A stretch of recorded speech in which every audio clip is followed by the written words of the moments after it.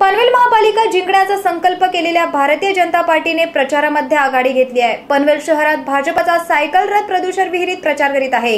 या आगळ्या वेगळ्या प्रचार पद्धतीला नागरिकांचा चांगलाच प्रतिसाद मिळतोय. आपले शहर आपला अजेंडा हा या प्रचार रथाचा विषय असल्याने नागरिकांनी वेगवेगळ्या माध्यमातून बदलत्या बहरत्या पनवेलबाबत आपल्या सूचना पंधरा एप्रिल पर्यंत द्याव्यात असे आवाहन याद्वारे करण्यात येत आहे.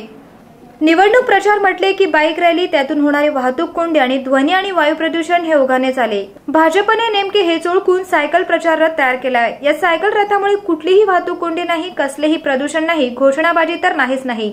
यामुळे बदलत्या भरत्या पनवेल महापालिकेच्या पहिल्याच निवडणुकीत प्रचाराच्या नव्या संकल्पनांचा प्रभावी वापर भाजपने सुरू केला आहे मुळातच एखाद्या पक्षाचे धोरण त्या पक्षाच्या वचननाम्यात दिसत असते. मात्र नागरिकांनी शहराचा वचननामा बनवण्यासाठी मते कळवावीत असा धाडसी पर्याय भाजपने लोकांपुढे मांडल्यामुळे सर्वसामान्य नागरिकांपासून बुद्धिवंतांना या निवडणुकीत प्रत्यक्ष अप्रत्यक्षपणे सहभाग नोंदविता येणार आहे.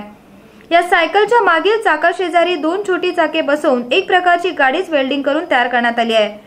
फलक लावण्यासाठी मोठी लोखंडी फ्रेम तयार करण्यात आली आहे. त्यावर पनवेल भारतीय जनता पक्षाच्या वतीने आपलं शहर आपला अजेंडा हा बॅनर लावण्यात आला आहे. पंतप्रधान नरेंद्र मोदी मुख्यमंत्री देवेंद्र फडणवीस आणि रायगड जिल्हाध्यक्ष आमदार प्रशांत ठाकूर यांचे फोटो या बॅनरवर आहेत.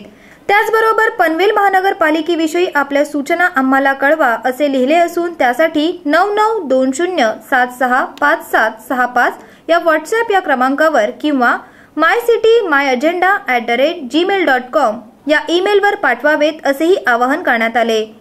तसेच प्रशांत ठाकूर डॉट इन या संकेतस्थळावर ऑनलाईन पद्धतीने सूचना नोंदविण्याची सुविधा उपलब्ध करून देण्यात आली आहे.